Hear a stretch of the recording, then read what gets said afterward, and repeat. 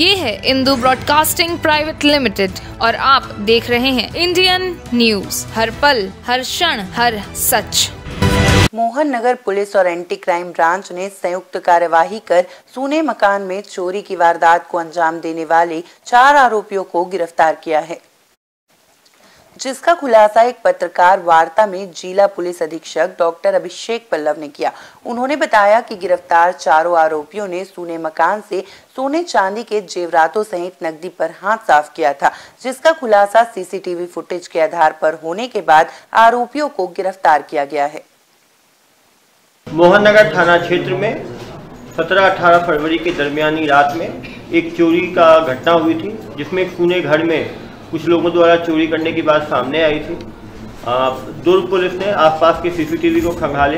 तो सीसीटीवी में तीन लड़के कैद पाए गए। उन सीसीटीवी के फुटेज की पहचान कराई गई।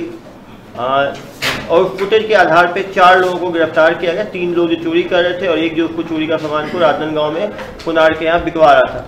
सोना चांदी के आभूषण, घड़ी, कीमती घड़ियाँ और नगदी जो है इनके द्वारा चोरी की गई थी। सभी सामान्य परिवार के थे और कहीं ना कहीं शराब के नशे में और जल्दी पैसा कमाने की लालसा में इन्होंने सोने घर को जो है टारगेट किया इस चोरी को पकड़ने में सीसीटीवी की अहम भूमिका थी और कहीं ना कहीं प्रदर्शित करती है कि यदि हम आसपास सीसीटीवी लगाएँ तो हम सुरक्षित रह सकते हैं और गुनाहगारों को जल्दी पकड़ा जाए न्यू वीडियोस की अपडेट पाने के लिए सब्सक्राइब करें इंडियन न्यूज़ को और बेल आइकन को दबाएँ।